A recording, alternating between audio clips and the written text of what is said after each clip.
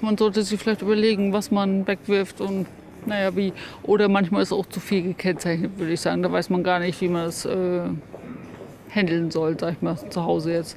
Wenn man zig verschiedene Sachen sortieren soll und so. Ich denke mal, das machen viele nicht. Eine Sauerei. Ganz einfach. Prinzipiell ist es einfach nicht gut und ich denke einfach, jeder sollte darüber nachdenken, was er macht. Also wenn man von außen her denkt, sagt man, ich gehöre nicht zu der Wegwerfgesellschaft. Dann steht man in der Küche, hm, das sieht nicht mehr so gut aus. Eigentlich wollte ich wieder einkaufen gehen. Und dann merkt man, man gehört eigentlich doch dazu.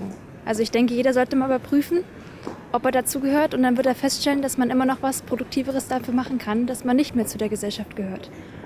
Gut, ist mir natürlich besser, äh, wenn man Dinge öfter benutzt und auch äh, nicht immer alles direkt wegwirft, aber der Mensch ist nun mal einfach und äh, heutzutage muss alles schnell gehen. Deswegen ist der Trend, glaube ich, nicht einfach aufzuhalten. Also ich finde es nicht gut.